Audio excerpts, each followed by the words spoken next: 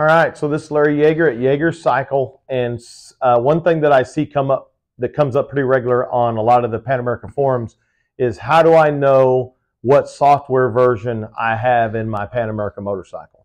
Um, and unfortunately, that's not an easy thing. Okay, so there's a, an ECM, which is electronic control module. There's a BCM, body control module, and there's an IM, instrument module. They all three have different softwares that basically control the electronics on this whole motorcycle. Um, and they need updating because the motor company will come up with um, uh, updates or revisions, or maybe there's a bug in the instrument module and they can correct that with an update.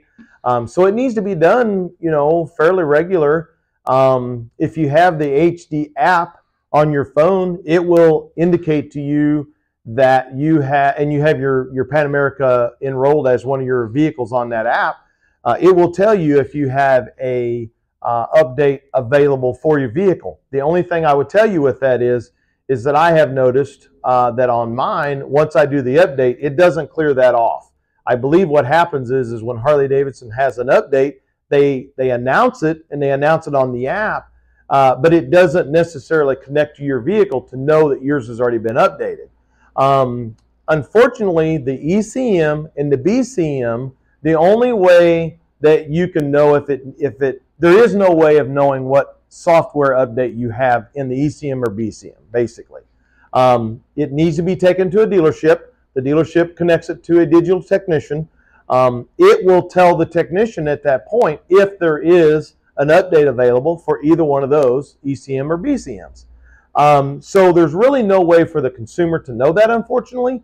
Um, but that needs to be done at a dealership. Now, the instrument module or IM in in in is different. Okay, it, its update can be done by consumers. Um, you can get the updates off of the HD consumer website, Harley Davidson consumer website. So basically, if you go h-d.com, you scroll all the way to the bottom, you will see um, a tab that is software updates. Uh, it will bring uh, it will bring you to a service information portal that then um, will then you select Pan America as your vehicle and you can print off what the current updates are and you can compare that update number to what's in your vehicle. And I'll show you here how you can tell what instrument module software update is in your vehicle. So basically you want to turn the bike on like I've, I've already got it turned on. You're going to hit the multi window screen button here. You're going to go over to settings.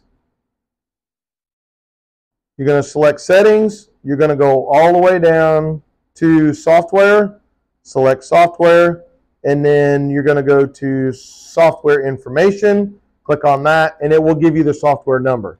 Um, I have another video that I have made that shows you how to, to uh, load the software update onto a flash drive, and then how to install it on your IM. So you can refer to that as well. So anyway, I hope that clears things up just a little bit. Again, ECM, BCM updates, there is no way for consumers to know. You have to take it to a dealer. IM or instrument module updates, consumers can do. And if your dealer is willing, they will do it. Uh, but um, anyway, I hope that helps. Thank you.